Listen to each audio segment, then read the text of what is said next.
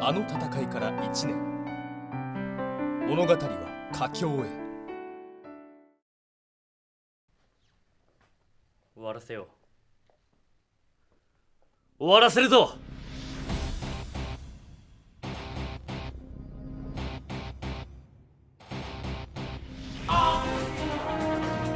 これはラフティアルファそのものなんです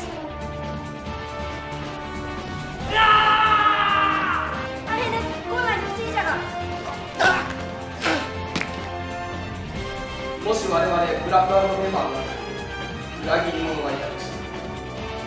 仲間に背中を預けてね。